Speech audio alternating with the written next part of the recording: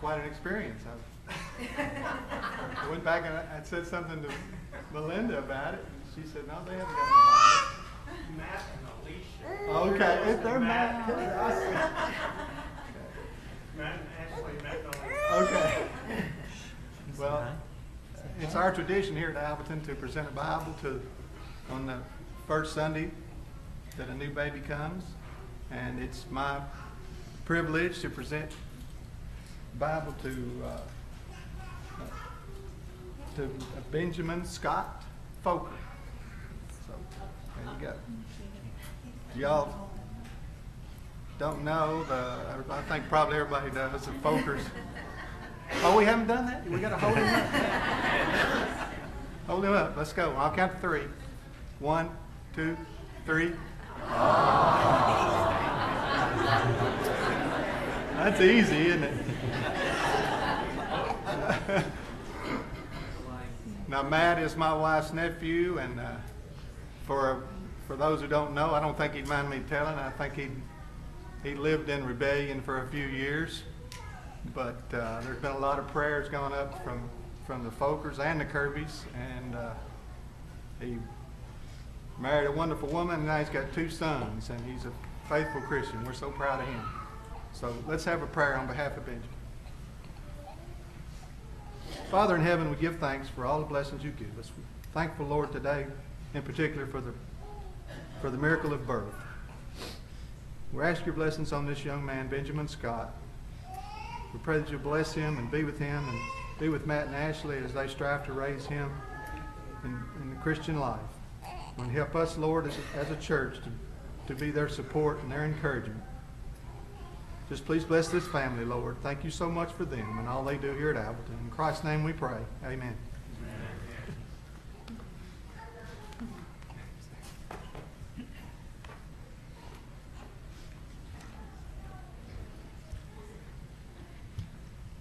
It's certainly my privilege to be able to introduce to you Brother Christian Rehoboam from Rajahmundry, India. We've been, since we began here at Alvaton, uh, helping to support that work there. And it's uh, one tremendous work. But Lethell and I met uh, Brother Rehoboam 37 years ago in Morgantown, Kentucky, when I was preaching there. And uh, that work was a small thing starting, but it has really grown and developed in, in a marvelous and, and wonderful way. And we have uh, been friends with uh, Brother Rehoboam and supporters of Brother Rehoboam for those 37 years. And the church here has uh, been, ever since we had our beginning here, a supporter of him. Uh, three of our elders, Dennis George, Ralph Brewer, and Gene Page, have actually been there and participated in that work and seen it. And then several others uh, that we, most of us know, uh, George uh, Peterson, uh, Bill Brummett, Philip Edens, Rick Scher, who's a member here, have all been there and have seen that work. So, and so we have verification of everything that we've heard about it, and we, we are thrilled always to know what's going on there and what he's doing. Brother Rehoboam has been one tremendous leader for those 37 years. You can't do a work like that by yourself. But here is a man who has good judgment in selecting people with the, the ability and qualifications they need to do a job, delegating the authority and letting them do it. And with that, and under his leadership for all those years, uh, it's been one tremendous work, and I'm excited that uh, he's here to talk with us today about that great work. Brother you.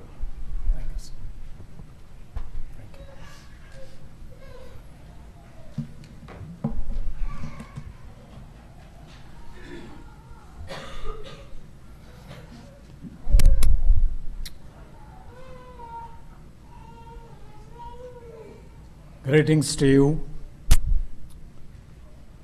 from the Churches of Christ in India. It's always a joy for me to come to the United States. But when I come to the US, I never feel like going to a strange country. Reason for that, I have more brothers and sisters in Christ than any other place. It's always a joy for me uh, to come to this wonderful land created by God because we cannot find more beautiful land anywhere on this earth. Sometimes people in India ask me, Brother Abam, you have been to many countries. Where is the most beautiful country? Always I say, United States of America. Of course, brother reminded about 9 11, but at the time I was in India and watching news. Was watching news about 9 11, but uh, I was thinking they were showing a Hollywood movie. But actually, I was watching news. But still, I was thinking, I was not watching the news. I thought I was watching a part of advertisement of a Hollywood movie. But later, after five minutes, I realized it was really uh, going on. Then I started praying because I pray for the American brethren. So then I thought, the Satan can do damage only less, but Satan cannot destroy the godly people. Because in my personal life, Satan is trying to kill me right from my childhood. I never thought that I would live for 70 years. I'm so grateful to God. God has given me longevity for only one reason to preach the Word of God. And when I come to the United States, I always feel like coming home because uh, when I see the brethren, I know hundreds and thousands of our brethren in the United States. I can see them and call them with their names. It was one time a preacher uh, took his car to the mechanic because the mechanics, because always they charge high in states or in India, anywhere. So preacher thought uh, it would be good for him to tell him so that uh, mechanic would not charge him much. And the preacher said he took his car for mechanic to the mechanic and said, I'm a poor preacher, so that uh, he would not charge him much. Then the mechanic said, Well, I know that because I heard you preaching last Sunday. so now I feel like I'm a poor preacher because I'm very poor in English. Before I come to the US, because when I stay in India, all the time I preach in Telugu. I don't talk with people in English. I don't teach, preach in English. But only time that I have to use my English when I come to the US. So when I fly, I little bit troubles me whether I can get the words or not. But I'm grateful to God. But once I start speaking, God really helps me uh, with the words.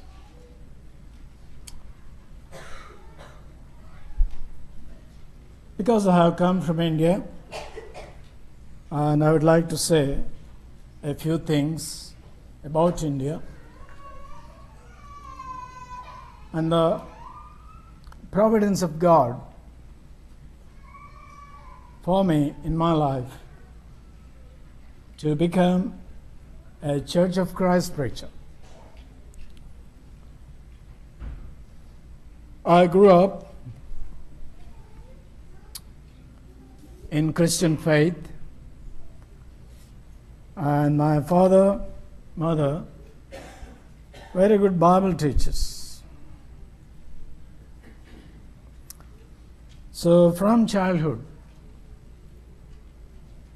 I read Bible and started preaching or teaching when I was five. But I never thought that I would become a preacher. But when I was young, the only one thing that I remember my father telling me, son, if you go to America, United States, Americans will do anything for you. So it's always made me to come to the United States. But after my father's death, because he was a businessman, after his death, my father's death, only ambition that I have, I wanted to come to the United States. All my ambition from my childhood. If somebody asks me, Rabban, why did you have that kind of uh, thinking? I do not know really. But that's my ambition. All my ambition to convert India at least 50% of the Indians must be converted. So the only way that I can do that by getting into politics. It is so easy for me to get into politics and become a national leader, a prime minister, president. Very easy for me. But always, I wanted to come to the United States first, then get acquainted with some politicians, go back to India, get into politics, and rule India, and try to convert as many people as possible. My goal just convert least 50% of the population. The only reason for thinking that way, India was ruled by hundreds of Indian kings. They did not do any good to anybody, to the people. It was ruled by the other, con- other rulers. They did not do any good to anybody in India. They're the only kings. They did good to the Indians or the British kings. India was under the rule of British for 350 years. When first came to India to do business, there were 100 kingdoms in India. They were fighting each other. Then the British thought, oh, this is the right place for us to rule the country. So they controlled entire India. The British is the one. brought the unity among the Indians and made as a one country. They are the ones brought the education, schools, universities. They built the roads, bridges, dams, anicuts, industry, every kind of business. And I still remember when I was very young, and my mother told me, they never knew what a famine was. Only reason for that, when the British was re- ruling, before they get into the famine, the British rushed with the food grains. After India got its uh, independence and Indians started ruling India, but they did not do any good to anybody. Only they created problems, and it's a completely course corrupted country. So I thought it's a very good thing for me to get into power, to rule the people, and try to show the light of Christ so that 50% of the population will be converted to Christianity. But what happened? At the time I was only 19. I thought uh, 19 is very too young to go to United States. Then I thought I must wait for one more year, get to the age of 20, then go to America. But what happened? So I did not like to waste my one year. Then I got uh, some kind of idea to use that one year just to make some money. I cannot start any business and get rid of it and come to America. It's not possible. So I wanted to wait until I come back from US, then start business or get into politics. But in that one year, I thought uh, making a movie is a very good business. I can make one movie and make a lot of money. So then I started going to movie studios just to learn how to produce two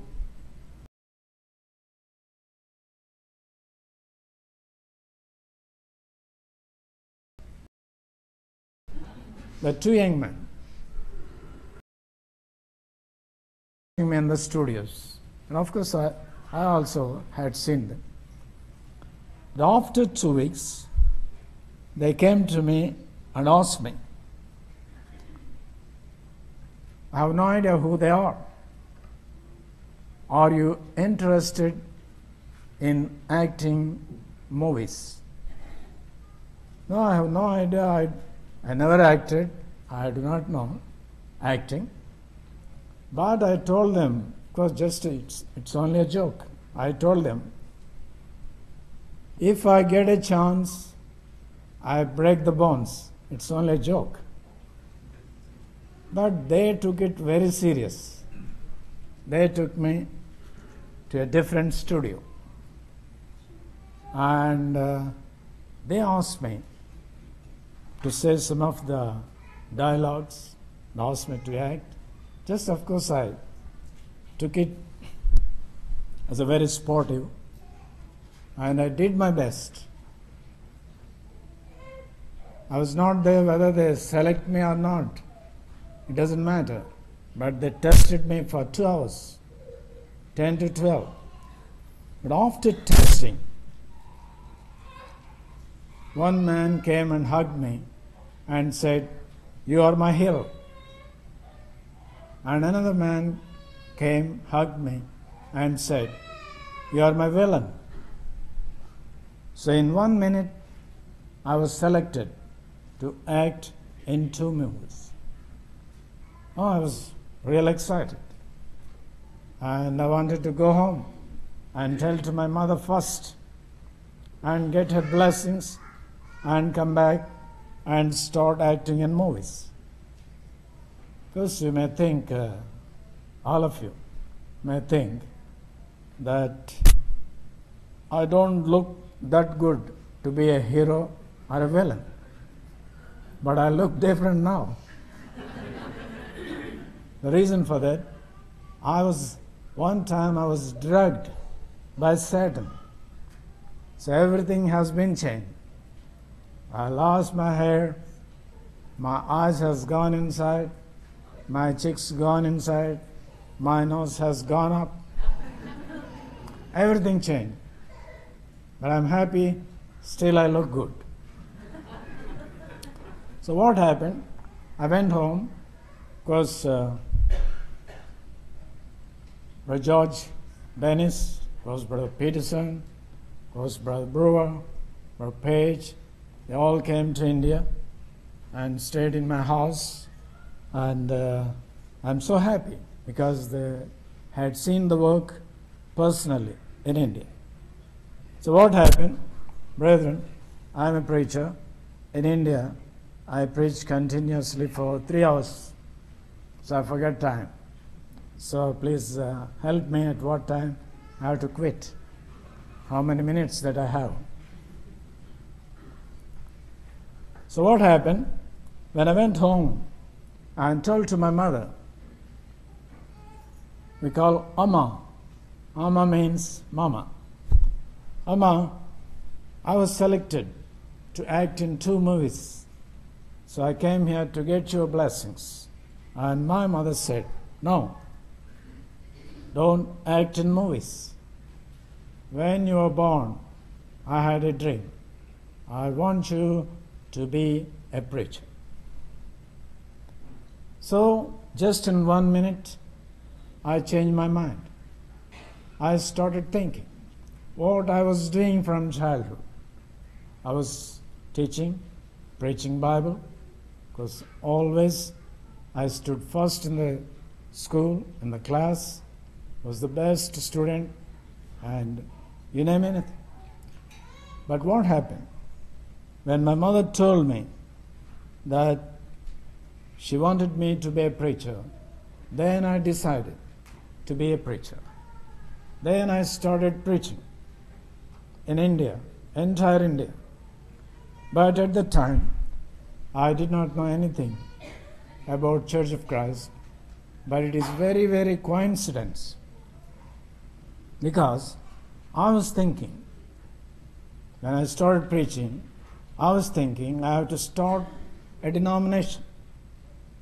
It's very, very coincidence, surprise to me. And I wanted to start a denomination with the same name, Church of Christ. But one day in Chennai, I was walking on the roadside and saw a small signboard, Church of Christ. So that is what I wanted to start. I did not know that there is already the Church of Christ.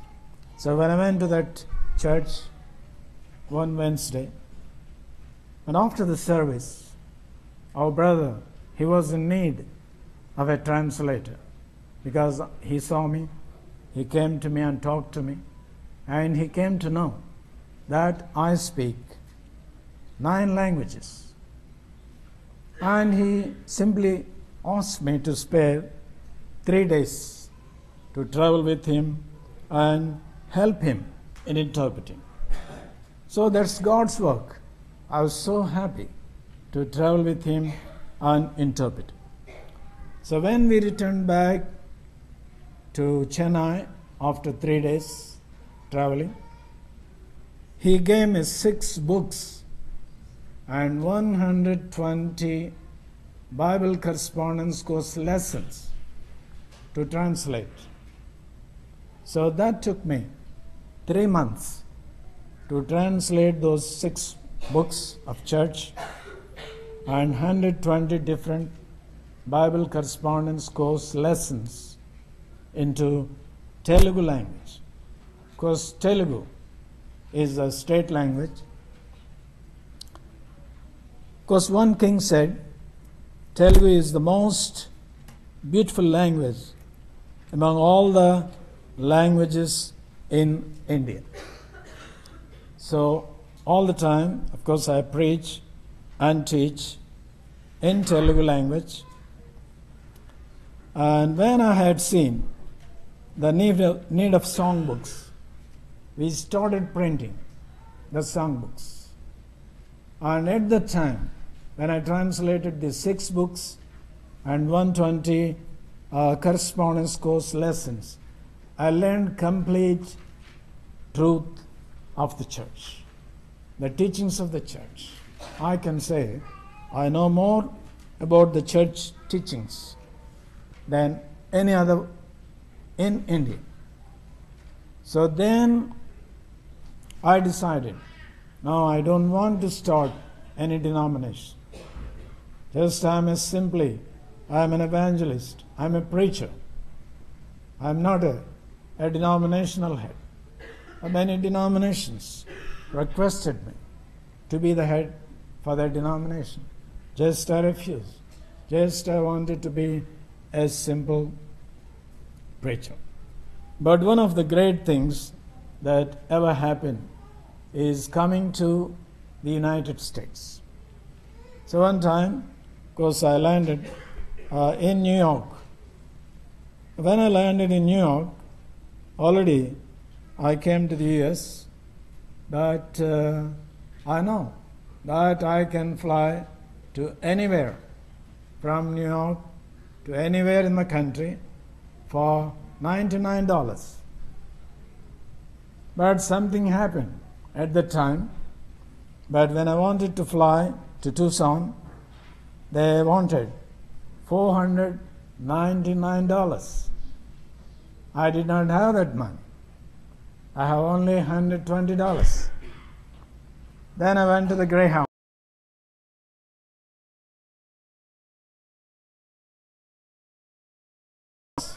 They said 299. I don't have that money. Then I asked them how much it costs to go to Bowling Green. They said $66. Oh, thank God. Because I wanted to see Brother David Dimachek. He is my sponsor. It's good for me to go to Bowling Green and I have a lot of confidence that I can borrow any amount of money from him. so I'm not sure when I'm going to come to Bowling Green on Greyhound because I don't know the timings, so I did not like to call him and tell him. And also, I'm not sure whether he was in town or not. So I came down to Bowling Green and called him from the Greyhound bus station. Of course, there was no bus station, only a stop. So I called Brother Dimachik and told him, This is uh, Brother Raybaum from India. I'm at the Greyhound bus station and I wanted to know whether he's in town or not. But Brother Dimachik, he is such a wonderful, godly, amazing man because uh, when I think of any godly man, of course, to my knowledge, I have to think first of Brother David Dimachik is an example. And also he made me a better Christian and I want to uh, follow, of course, his wonderful nature. So when I called him, uh, he came to the bus station and received me and uh, he took me to his house. Once I entered into his house, I had seen 20 preachers right in his house. Preachers' meet was going on. So That's a wonderful uh, thing that happened. It happened as if that God made me. A God brought me to Bowling Green. So, just one time, I got acquainted with uh, 20 preachers. And they all asked me, Abram, don't go to Tucson, you stay here. So the Bowling Green has become a great sponsoring, supporting congregations for me. And I'm so grateful uh, to all those that are involved in uh, supporting the Lord's work in India. And with the help of the brethren, the first thing there is support to buy a Z- jeep for me to travel to different places and bought the printing press to print the literature and songbooks.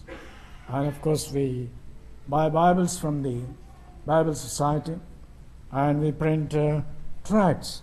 It's amazed me the reason for that. And uh, i never did ask the brethren money but they realized oh brother Rehoboam needs a jeep Brother Rehoboam needs a printing press to print all the literature. So everything, before I asked them, they are already just uh, provided me the funds to do the Lord's work.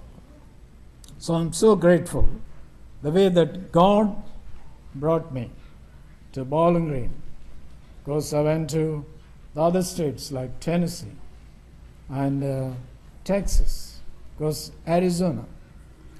But because I work with uh, Telugu language people, and very recently, and the state, Andhra state, is divided into two states. But 13, 14,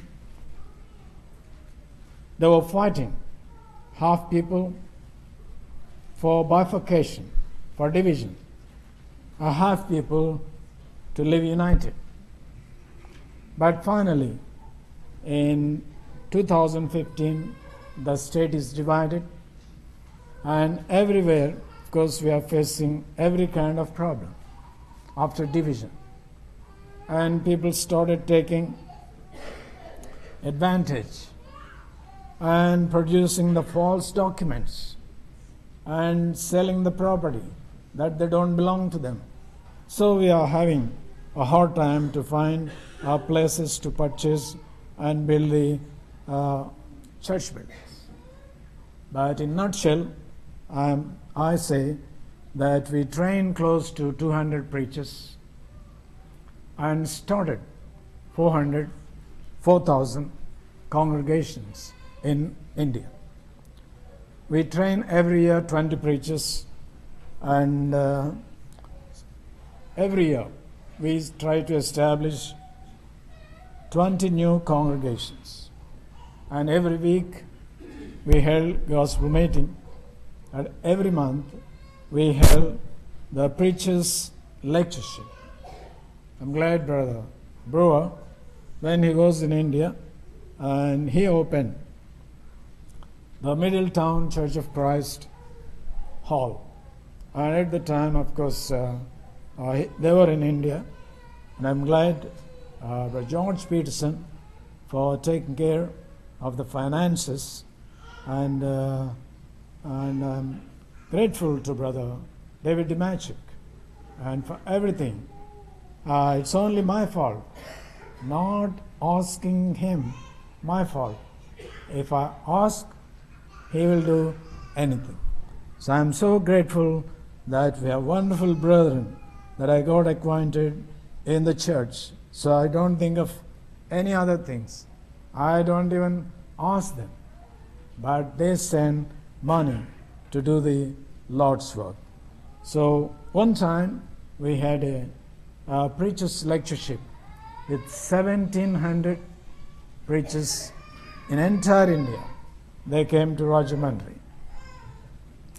But the church did not forget the benevolent work because according to the funds availability every month and we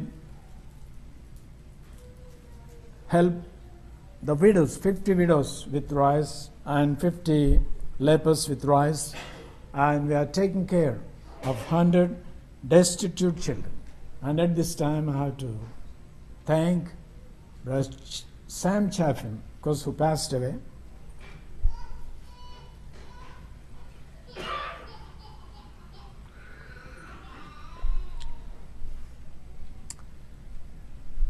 Brother Sam Chaffin,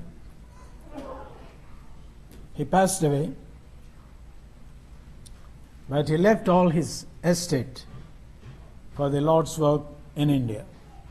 So when I received that money, and until now, we did not spend a single dollar from that money, but we spend from the interest that we get from the bank every month.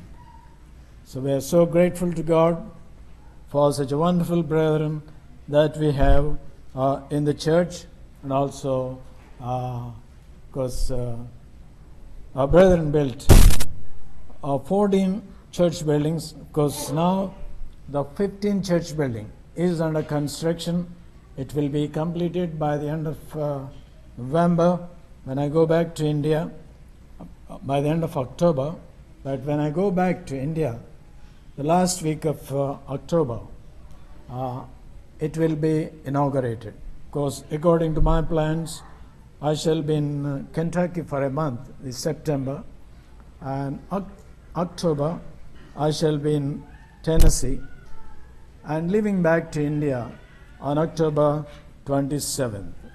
But once again, brethren, I express my joy and gratitude from the bottom of my heart for your love and prayers and continued uh, supports.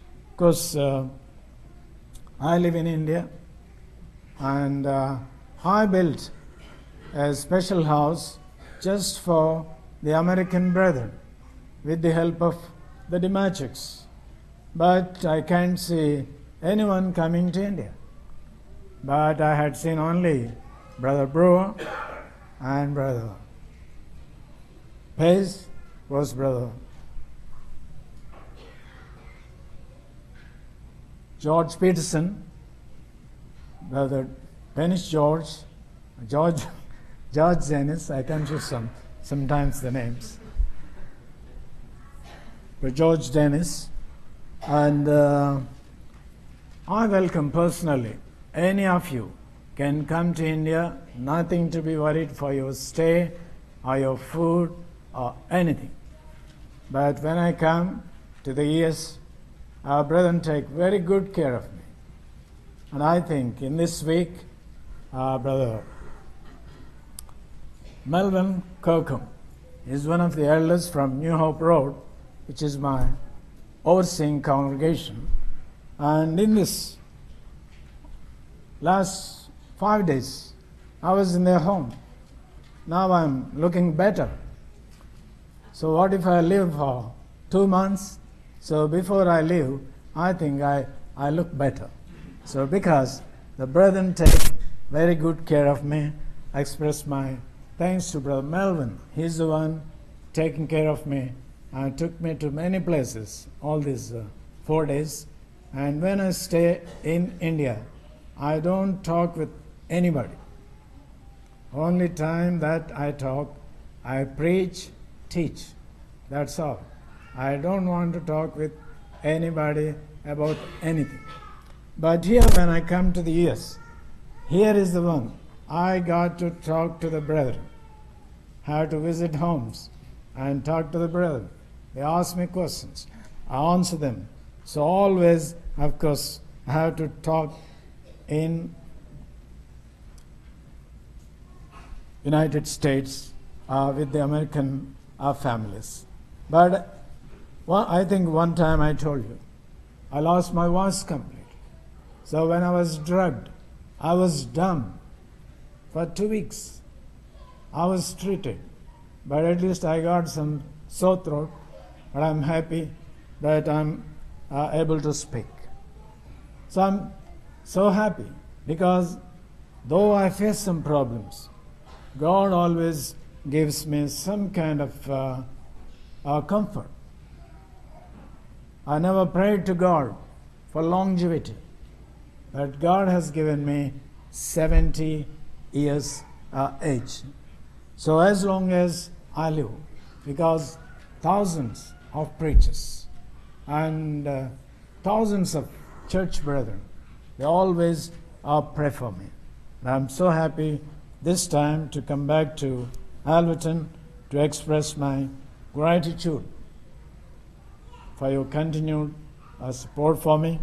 And you're always welcome to come to Rajahmundry. And happy news is the Walmart started their shop, their business in Rajahmundry. So if you want to buy anything Walmart, you don't have to go to Bowling Green. You can come to Rajahmundry. So we are always uh, joy uh, to even to think of you. And as I told you, if you leave me, I keep on speaking. So I want to close my talk at this worship place uh, telling you a small illustration. One time, a father has twin sons, and they grew up, and he wanted to give his power of attorney to one of his sons, but he wanted to select to whom I must give all this responsibility, get this property, so that they don't waste the property. So he gave one son hundred dollars, another son hundred dollars, and asked them, "You fill your room. You buy something with hundred dollars, and fill your room. And I come and see your rooms in the evening." So when the father went to see their rooms, and one son he bought hay. Hay with uh, hundred dollars and filled his room. And he was not able to fill that room entirely. Of course still there was some space was left. Another son he bought candles with hundred dollars. When he went, when father went and saw his room, the entire room with full of light, no darkness. One son filled with hay, and everything was dark. And here is another son, filled his room with candles, full of light. So the father gave all his property to this son so that he can spend his money wisely. So when we think of Jesus Christ, our Savior, Redeemer, he said, Let your light shine before the men, that they may see your good works and glorify your Father who is in heaven. Brethren, can you believe when you travel in India and you find Alvaton Church of Christ? Two buildings. Because you have one Alvaton Church of Christ here, but in India, two buildings. I'm grateful. And there is another Canon Land Church of Christ. So I'm so grateful to all the brethren to for their kind contributions. But it's my intention. And I'm grateful to God for giving me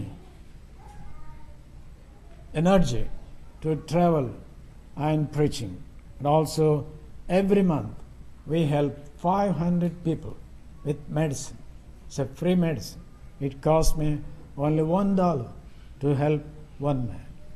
We go to the villages, very remote places, forest areas, where they have no access to get medicine, but we take the medicine because this is our monsoon season. Very poor people, they all get sick. There's no way for them to get medicine. They can't move. Entire family sick. But we are the one try to help these poor people. But I'm so happy God has given me wonderful opportunity. But now the anti-conversion law is already in action. So people has no right to convert people. But in my case, I am so happy to say God has given me such a wonderful opportunity. Wherever I go, I don't find any kind of opposition. People invite me, whether Hindus, any religion, no objections from anybody. They help me to hold the gospel meetings, to have these medical camps, and do any kind of things. I don't find any objection either from the politicians or from the public or from the officials. But I'm so happy God has given me a wonderful opportunity. So as long as I live, I want to be a preacher. And as I told you, I feel like I'm born to preach and I want to live only for preaching. And I'm so happy to come to Alvaton to express my joy and uh, in future. So we want to spread the Lord's kingdom despite of any kind of opposition either from the government or from the people. We are not worried. We are for Christ, we are for God, and we want to let the light shine in India with the gospel.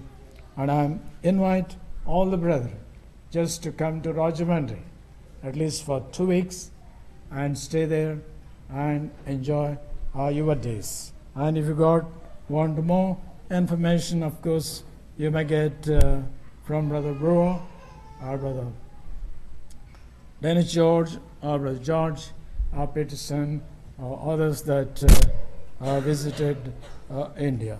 Once again, brethren, I express my gratitude to you. Please continue uh, to remember me in your prayers. I think your prayers are keeping me to do more work for the Lord and getting more energy. And despite my throat problem, or despite the doctors advised me not to preach, not to teach Bible, but I'm grateful to God. God has given me enough